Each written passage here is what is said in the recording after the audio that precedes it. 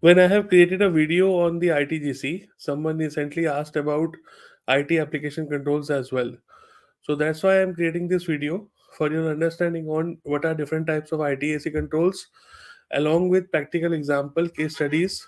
Two case studies I will discuss in this video to help you understand what is IT application controls and how to apply them in the real world. So thank you so much for watching. Please watch carefully. And as always, if you have any questions, please ask in the comment section. Thank you.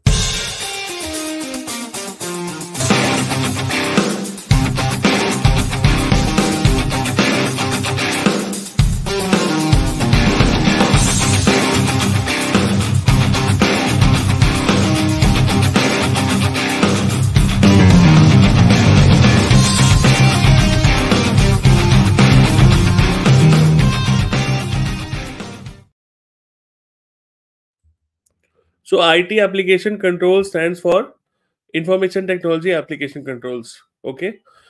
The main reason why we should include these controls is again the same. Why we discussed ITGC is the confidentiality, integrity, and availability of data which is processed using the organization's applications. So if your organizations are processing some data and if you have applications which are being used in your organizations you should understand what are the important information information technology application controls. Okay? So itgc basically focuses on the entire it environment. Like we discussed there were different uh, you know access controls there were different backups the backups the change management a lot of things were there. However in itac controls the name itself suggests that these are information technology application controls only. And these are for your organizational specific applications and their associated functionalities. What sort of processes do you have associated with those applications? And what sort of controls you need to have in order to have the ITAC controls in place okay? So three main categories of ITAC controls are input controls processing controls and output controls. So any application if you see has inputs has outputs and in the middle it processes some sort of uh, processing the data. Okay. So let us uh, understand first of all the first phase which is input control. So input control is very easy to understand. Anything which you are entering into the application uh, it should be complete it should be accurate and it should be valid. Okay.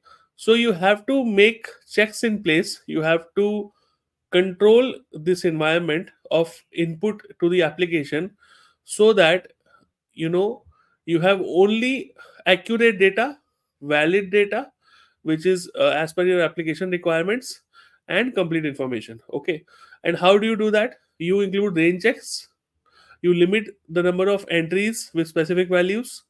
You introduce mandatory fields okay? You only require specific data to be entered. You do not uh, want your fields to be open okay so that anybody can enter anything. You have to implement data type checks okay.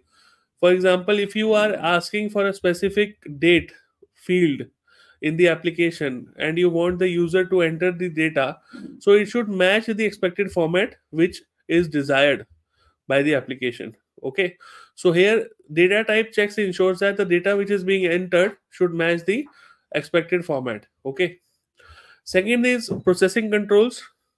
So once the data has been entered the application actually performs some sort of processing okay? After data is verified you perform some calculations you perform some data processing and it has to be proper okay? So you need to have proper hashing algorithms to make sure that there is no sort of uh, unauthorized data changes and the application is processing all the data properly and consistently. Okay? Uh, you also perform reconciliations for consistency as well. Output controls again as the name suggests is protecting the integrity and security of the data exiting the application. For example once you have applied some calculations the data which is now going out from the application it should be encrypted okay? So that when you are sending it to any other place nobody can just access it there should be proper access controls in place so that you know who are the stakeholders who can view and modify that data. And you need to have proper logging and monitoring to track the user activity and system events associated with the output as well. Okay. So very easy to understand. I think now let us understand this with practical examples so that all this makes a lot of sense to you. Okay. So now in this scenario we are considering a e-commerce application. Okay where you are you know uh, processing some customer orders where you have different sort of uh, you know goods and services which you are providing using your e-commerce application platform okay? This is an online e-commerce application platform. So how do you control the input? First of all is the first thing because there are three categories input processing and output. So number one is test case.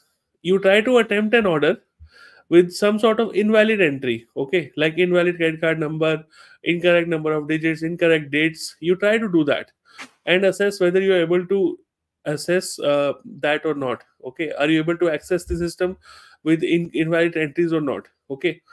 And ideally the system should reject the order and display an error message okay? And you should also try to leave the mandatory fields empty and again ideally system should prevent the order submission until all the required fields are filled. So this is how you can control the input like i discussed already. For processing controls you should try to place an order which is actually more uh, discounted than the allowable limit. So system should automatically adjust the discount to the maximum allow- allowable value and not with the value that you have selected okay this is how it should respond. Okay so you have you have to check this whether this is happening or not. If you are checking the ITAC controls of your application e-commerce application. After that you compare your order totals with manually checked values based on the items that have been sold from the e-commerce platform and according to the tax rate. So ideally it should match. The totals should match indicating accurate calculations are performed by the application. So here you verify the integrity okay? Output controls again you access order for details. For a customer you don't have permissions to view. You try to see if you can do that okay? So here system should deny your access and log the unauthorized attempt since you do not have the uh, authority to access the order for a customer that you do not have permissions to do so okay second test you can do is verify if sensitive data like credit card numbers are encrypted in reports or logs. And here you should see that the in uh, you know sensitive data like credit card numbers are masked and are unreadable without any sort of decryption keys. So this is one example. Now here is another example for itac controls because i think some people will still not be clear. So that's why i am starting giving two examples now so that you have better clarity okay? Uh, so here in imagine a hospital information system and uh, we- you are actually using this to manage the patient records and billing information okay? So now in this case in the hospital information system what will be your checks or in- input controls? And what would be the expected results? What would be, what would be your checks on processing controls? And what would be the uh, you know checks on output controls and expected results. So let us go one by one. So for input controls you should try to enter a patient's date of birth with an invalid format okay?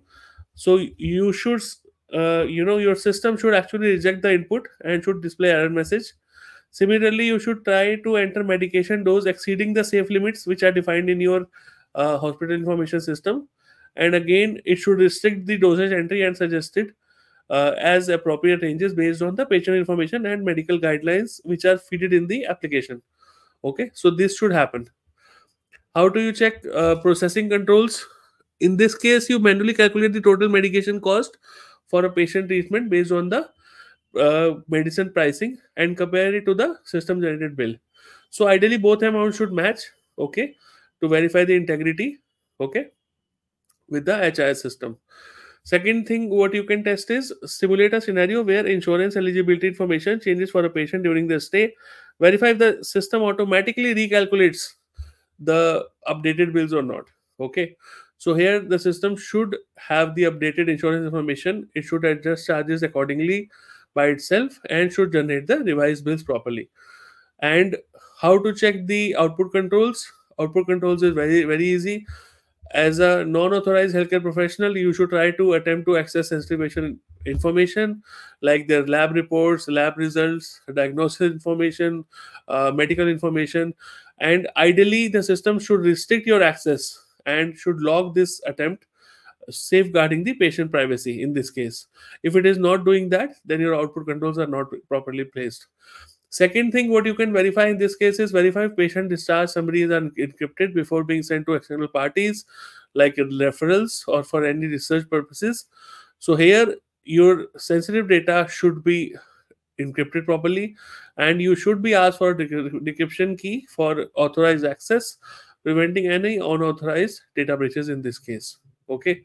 So i hope that this uh, makes sense to you and again as always if you are still not clear on IT application controls any more examples you need or any more questions if you have please feel free to ask in the comment section. Thank you so much for watching. Take care. Bye bye